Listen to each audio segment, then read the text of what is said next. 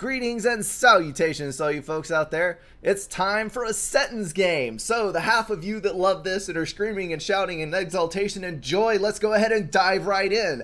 To the ones who are depressed and completely, totally just put off of the entire idea of a Setons cast, you may kindly show yourselves to the door. I'm going to enjoy this one as my indulgence for the week. All right, let's go ahead and jump into the teams and then we will get going on this game. And just so you know, this was an all randoms game, so random factions, random slots. You never know who you're going to be up against. Alrighty, on the northern side, we have the Muffin Man playing as a Cybran Beach. Steerborn is in the back as UEF Air. Captain White, Cybran on the rock, and Free MP is Aeon at front. That is about as backwards as you could possibly be for faction choices. Gimbal taking Cybran Air versus Steerborn. I kind of feel sorry for him at this point. M&B, otherwise known as Dim, has Aeon on the beach slot. UFC Gladiator taking Aeon front and rounding out the pack, Lextalk on the rock position as Aeon. And uh, that is a whole lot of Aeon right there. Okay, that's the slots. You know the map. Let's go ahead and bump up the speed here pretty aggressively just in case this is a long game. That way we won't be stuck here for too much of an age. Alright, pretty standard expansion from Steerborn, Double Land Factory to begin pushing out some early P-Gens, heavy reclaim, and expanding to grab as mass extractors on the front. We have the pretty standard walking up to the mid after you build your land factory and start sucking up as many Tech 3 land wrecks and Tech 2 naval wrecks as you possibly can. Something interesting to note, uh, for those of you who don't know, since the naval reclaim is only 40 something percent total, and land reclaim is 81%, there is actually more total mass in the Tech 3 wrecks than there is in the 3 Salem wrecks. So if you go for the T3 wrecks, you usually end up having more mass than you do if you go for the Salems. Alright, nice little push by from Gladiator. He rammed some of his Auroras straight up into Free's business, and that is going to be quite the annoyance having to get some tanks online to deal with those, and that is going to put Free way behind on expansion. Add to that the fact that the entire southern team is sending bombers towards the north, and this front player is having a hell of a time getting started. It looks like M&B snatched the island away from Captain White. So at this moment, the southern team holds both the islands, and we have a nice push here from a drop. Aurora is beating the ever-living daylights out of this base. Captain White losing most of his main eco section and is going to have to rebuild that, not to mention the fact that he had to build a whole bunch of Mantis. Then we've got engineers going down right here to steal his reclaim on top of that. That is a jerk move right there, and that is going to give M&B an even bigger leg up.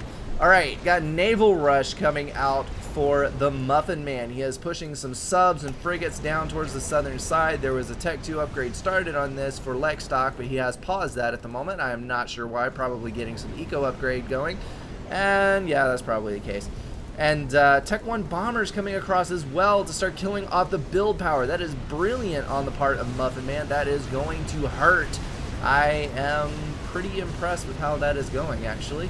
Very well done by him. And then pretty much the reverse is happening down here. M&B is pushing Tech 1 bombers up to destroy the build power up here, and the frigates are going to hang around in the base. Got a nice little proxy navy going for M&B. Let's check in with our air players. Tech 2 factory is complete, going to Tech 3 at 10 minutes and 45 seconds. Steerborn does does have the RAS, I think. Yes, he does. All right. And going back to Observer down here. Oh, what is this? He got a Tech 2 transport out. Before he went to the Tech 3 upgrade, Sparky's down on center. Those are going to start throwing down shields, point defense, and all manner of nasty stuff.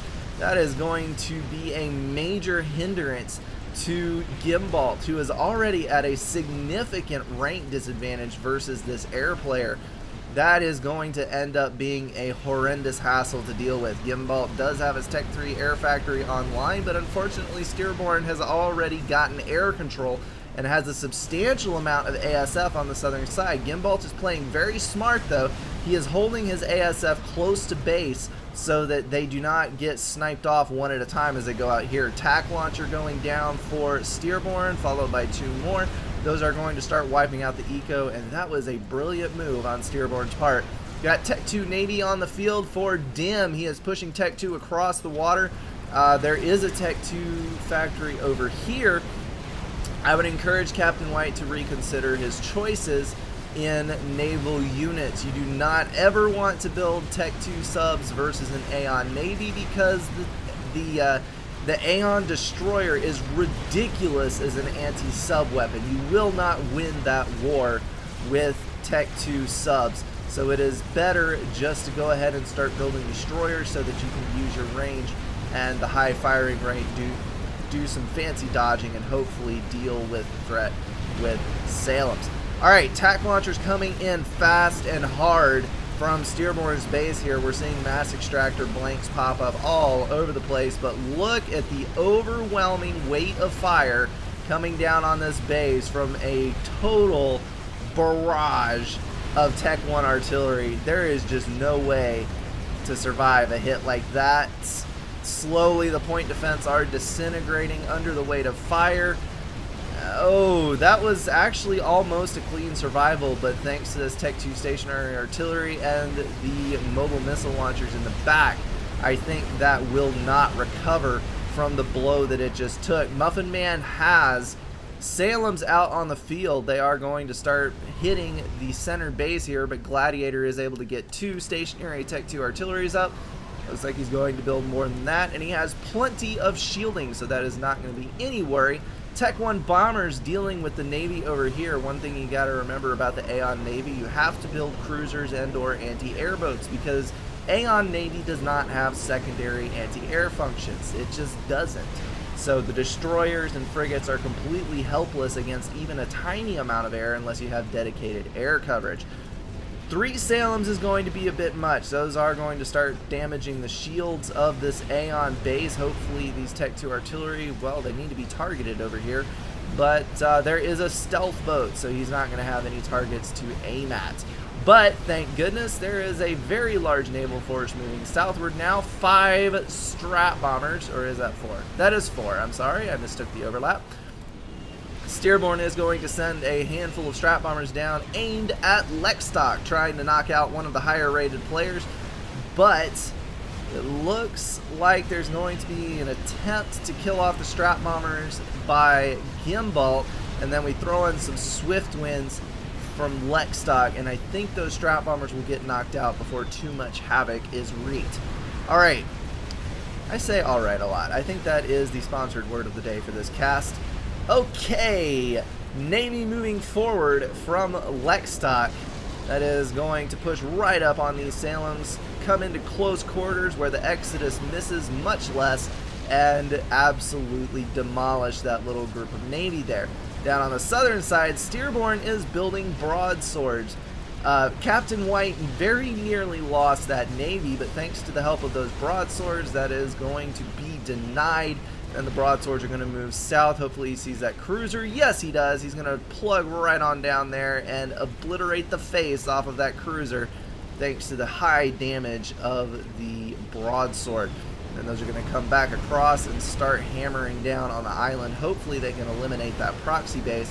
And in the meantime, Captain White's going to start building back up on Navy, hopefully before MNB can force him completely out of the water. Muffin Man has been forced back into a corner, but he does have a Tech 3 ACU that is going to allow him to build the nasty son of a guns known as Harms.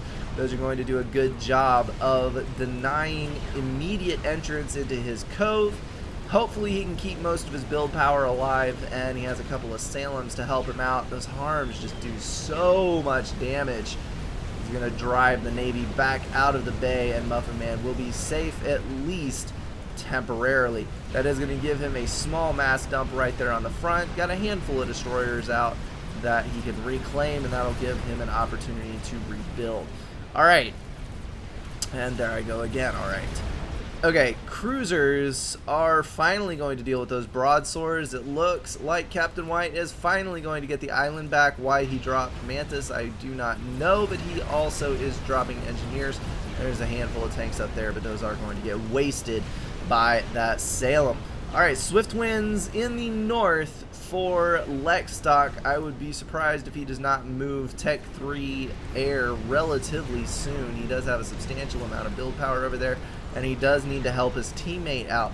No offense to Gimbal, but when you're versus someone with that much of a rank disadvantage, 2100 to 1200, add to that the fact that you got dropped early on and lost a substantial portion of your eco, you're gonna need help in the air. And Lexstock is gonna be the one in a position to do so because he does have the very good naval advantage, tons of build power, very substantial eco. He is actually top of the scoreboard at the moment with a whopping 342 mass income. That is massive. Nearly double the next player, Steerborn, at 195. So that is an absolutely scary amount of eco, and he has the build power to use it all up. Torpedo bombers coming out, hopefully to help deal with those harms and some of the other naval units that he's having issues with.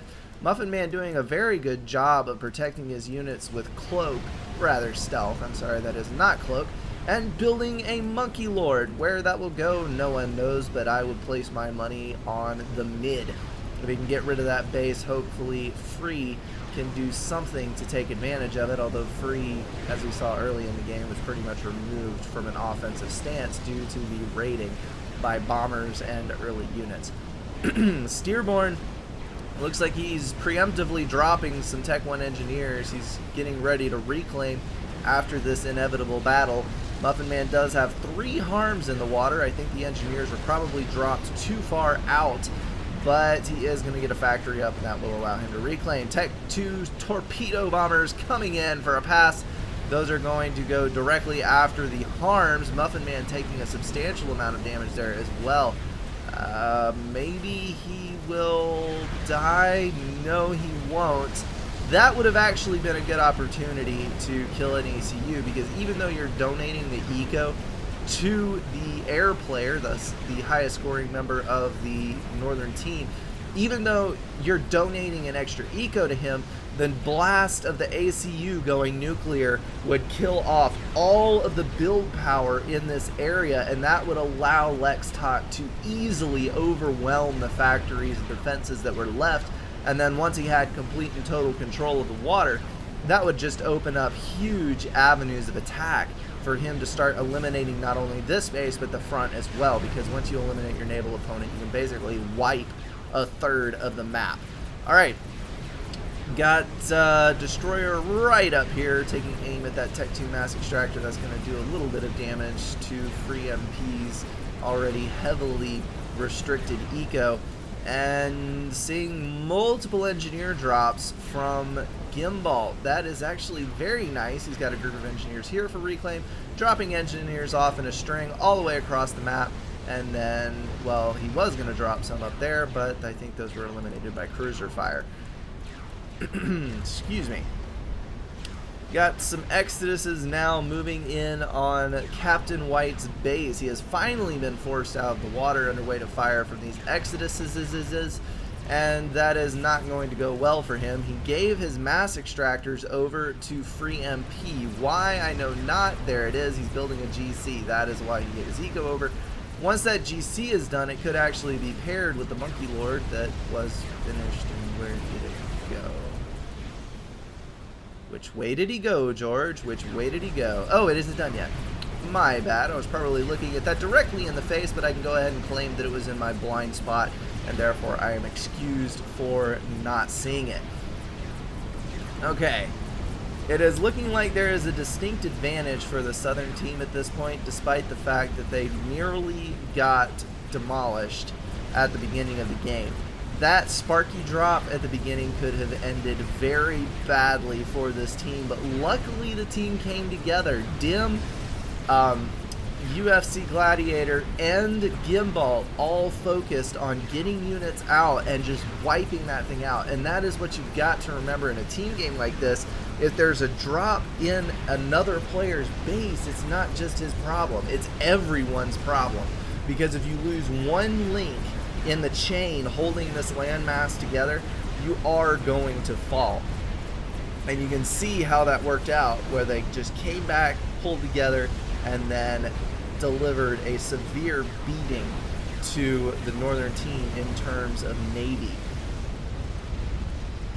Oh, Strat Bomber's coming in, aiming for the Tech 3 power. That is doing even more damage to Muffin Man's Eco. I'm actually kind of impressed with his ability to stay in the water at this point. He did get a battleship out. That's going to give him the ability to reach out at range and protect his arms. One thing he does have going for him is he's versus an Aeon opponent. You get a lot more mileage out of harms when you're versus either a Cybran or a um, or an Aeon opponent because Aeon cannot deal with harms until Tech 3 with either battleships or torrents or the Tempest. And Cybran cannot deal with harms until Tech 3 with the battleships. Their units do not have enough range, whereas Seraphim and UEF, you've got the cruisers that can reach out a long ways and hit the harms with ground fire. And uh, for those of you who don't know, how to use ground fire against harms, uh, down in the left hand side, let me get a uh, unit selected here. And I don't have a control panel. Well, crap. Um, down here on the left hand side there will be an aiming reticule like a little red crosshairs if you click on that um, the there will be three selections available. One of them is normal one of them is uh, tech something. The center one is the one that you want and then at the bottom there is a hold fire.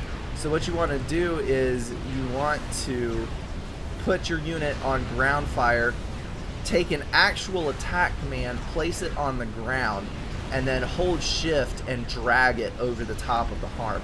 And that will, the, the ship will just attack that spot on the ground and the harm is under it so the area of effect will damage it. Alright, we've got Torrance coming out now for Dim. He's going to start pulling out those massively ranged units those things can reach far into the landmass. You can see the incredible amount of range on that. It is the longest ranged um, naval unit, and that was a kill right there. Free MP has gone down. So, so sad to see that was due to the Exodus fire, I believe. Yes, yes it was. Alright, enough trivia about naval units. We've got a beautiful little foothold on the land down here for Dim. He is holding this mass extractor spot. If I were him, I'd be throwing down factories and pushing land units, but he has apparently decided that that is not a good investment, and I kind of don't blame him because there's a ton of point defense and wall sections up there. So that would be pretty difficult to break into. Steerborn is moving his GC up towards the north. Uh, that's not sure exactly what he's planning with that. Muffin Man has done beautifully. He has gotten enough battleships up that with the help of the air player and these battle cruisers here that Steerborn is building, he has been able to push the naval units back and now he's coming forward to deal with the Tempest. Gladiator is doing the correct thing here. He is finished with his opponent basically so you have to decide what you're going to invest your mass in, and he has jumped into the Navy that looked worse off, obviously the northern side, and he is building Tempest to supplement his player's Navy. That is the best thing that you can possibly do in a Setons game, is to supplement one Navy or the other from the front. Normally that is done with hover units, and in this case I would actually recommend hover units over Tempest, because Cybran, you can get in there pretty easily with hover units, and when you're talking about uh, mostly Tech 3 battleships. Battleships are not going to be able to deal with hover. So that would be an excellent, excellent choice. Alright, looking at the base builds, we got lots of Tech 3 power, lots of normal stuff, heavy eco, nothing really super spectacular. On the southern side, We do have a strategic launcher built, but it is not loaded yet. And a Caesar Azar. Excuse me. Please don't comment all over the place about how I can't pronounce anything. Um, building Azar to send across. Looks like it's going to go caddy corner over in this direction. Lots of T4s coming out for the Southern team. Got all of these Tempests. That is three Tempest total and now working on a Tech 3 Naval Factory upgrade. And we've got units coming out to reclaim that. Uh, one disadvantage here is that the Tempest actually have equal range to the Summit. So since you do have the assistance of a UEF player in the water, that is going to hamper the effectiveness of the Tempest.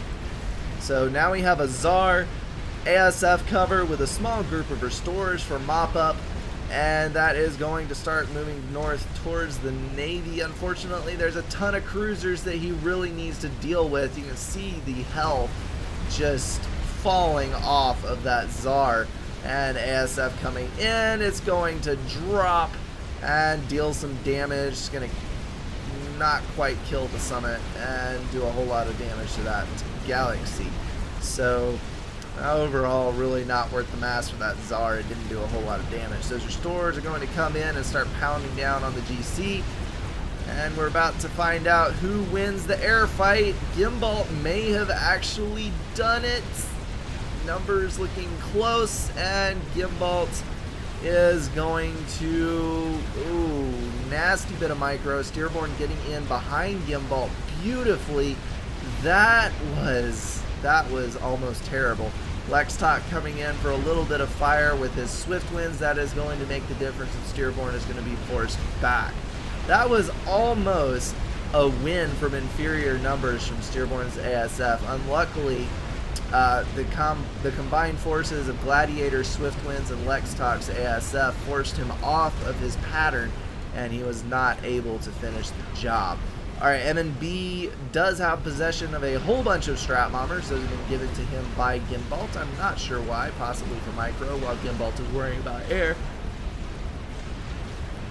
Those are going to be frighteningly effective at the moment because the northern team really doesn't have a whole lot of air defense. There is a megalith under the water. Another interesting piece of trivia is that the megalith moves faster underwater than it does over water. Actually, like a 20% speed increase. I don't exactly remember. It is fairly substantial. It, it is no laughing matter. If you have the opportunity to move underwater as opposed to on the land, you definitely need to take the underwater option because you will get there much, much quicker. All right, nuke defense is down. We're probably going to see a nuke launch from down here. Oh no, it is not loaded yet. That means Gimbalt must be severely mass stalled. Actually, he's power stalled. Horrendously power stalled. And I missed Steerborn dying what the crap? What killed him? Did he control K? He control K'd! Really? Why? Why would you do such a thing? He had the... I guess when he lost the nuke defense, he just decided he didn't want to play anymore, so... That is that. Everyone is going to quit out, and that is the end of this game. Alright. Kind of a sad ending, but that is a Setons game, folks. That is normally how Setons goes. It progresses to the point where one team or the other decides that the game is lost and they have no chance of pulling it out, and then they all quit because Setons is one of those um, Setons is one of those maps that you can drag out a loss for half an hour or 45 minutes. But most of the time, people value their time more than that. So once they decide that it's lost, they will quit. However, I will say that uh, only the most uh, vindictive players will do what Steerborn did there. Control K your entire base before leaving so that your team does not have the opportunity to fight it out. And on that, all I got to say is listen, if you want to leave uh, any game, I completely understand that. Even if it's a rage quit. Um, Some people have to leave because they're out of time. Some people just don't want to waste any more time on a game. You know what? That's okay. If it's a full share game, which Setons usually is, by all means leave, but leave your stuff for people who wish to fight it out. That is just being a jerk to control K your entire base and auto lose for your team. If you want to leave, leave your stuff alive, and that is completely fine. And you know, there's some people that even complain about that, um, about people who leave, period. But I've got to say, I've left some games, and I, I know people leave games all the time. It's not that big a deal. All right, well, that is a Setons game. Very nice sparky drop at the beginning. Excellent recovery by the Southern team, followed by very superior naval play on both the North and the South Navy. Although I gotta say the the matchup was not that great. Steerborn definitely needed that early play to try to win early because he knew that he was going to lose late game. But that was a nice defense up here by the Muffin Man lots of interesting things happening in that game. Hopefully, you guys picked up on some strategy that you wish to exploit later for your own purposes, and maybe everybody learned something. All right, that is going to wrap it up for this cast. This game, that is the end of Setons for a while. I won't cast another one for a good good amount of time. And just thanks for watching.